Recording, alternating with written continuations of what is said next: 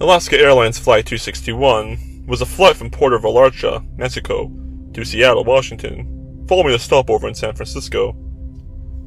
On January 31st, the year 2000, the MD-83 aircraft departed with 83 passengers and 5 crew members on board. The flight started out smoothly, where the aircraft ascended to its cruising altitude of 31,000 feet, where nothing would have seemed amiss to the passengers.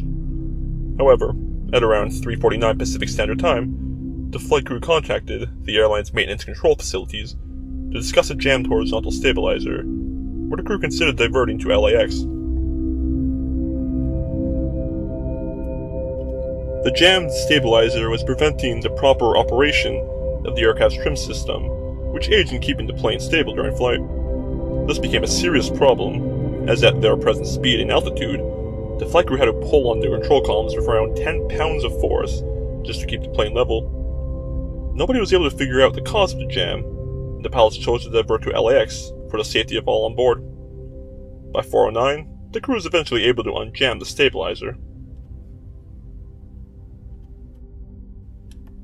However, in doing this, the aircraft ended up in an extreme nose-down position, spiraling towards the ocean in a horrifying dive that threw passengers and crew around the cabin.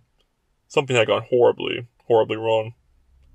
The plane went from 31,000 feet to around 24,000 feet in a brief 80 seconds. The pilots wrestled with the controls, where they were only able to pull the aircraft out of the dive by pulling back on their controls with almost 140 pounds of force.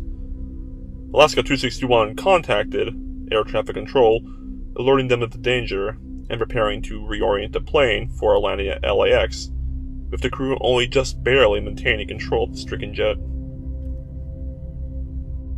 Unfortunately, this brief respite would not last very long, as starting almost 10 minutes later, there were four noticeable bumps that could be heard, followed by a very loud noise.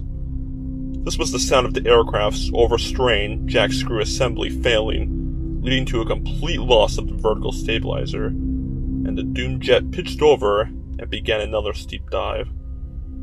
Other airliners in the vicinity were able to get a visual on the plane as it fell uncontrollably towards the ocean.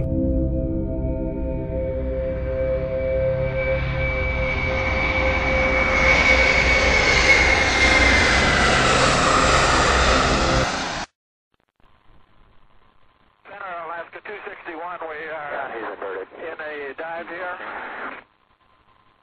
Alaska 261, uh, again? Vertical pitch. Alaska 261, say again? Yeah, we're out at 26,000 feet.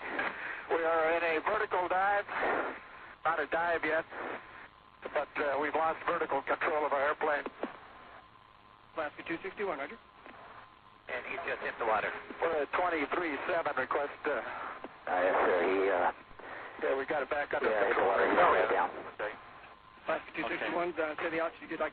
Alaska 261 continued its rapid descent, where the pilots even tried flying the plane upside down to maintain control at one point after the aircraft had become inverted. Far beyond hope of recovery, the MD 83 slammed into the Pacific Ocean at high speeds, disintegrating the aircraft on impact and killing all 88 passengers and crew on board. Despite the plane being utterly obliterated by the powerful crash, 85% of the fuselage was recovered, as well as the flight data recorder, and most important of all, the tail section, which revealed the improper maintenance of the jack screw assembly had led to the catastrophic failure. On top of that, the resulting investigation revealed that Alaska Airlines had failed to detect excessive wear on the jack screw during previous maintenance inspections. This was due to the airline using non-standard tools, which led to inaccurate measurements. The ill-fated passenger jet had essentially been a ticking time bomb, the deaths of the 88 people on board all victims of an airline cutting corners on safety.